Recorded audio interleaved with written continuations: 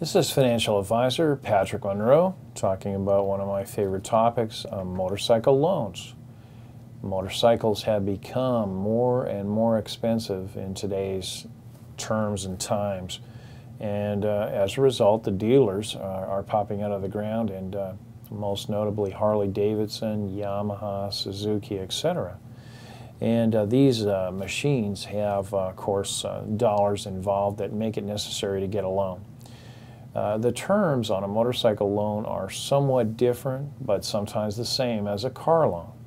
And normally the interest rates are also the same as a car loan because the two have now come together as um, very pricey items. So when you go in to the dealership, make sure you find out what their best in-store offer is.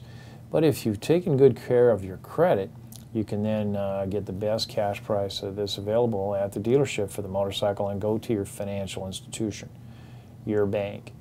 However, if you've been uh, real frugal in your lifestyle and saved a lot of money and sacrificed to get your motorcycle, you can pay cash for the motorcycle. This is Patrick Munro, financial advisor, talking about motorcycle loans.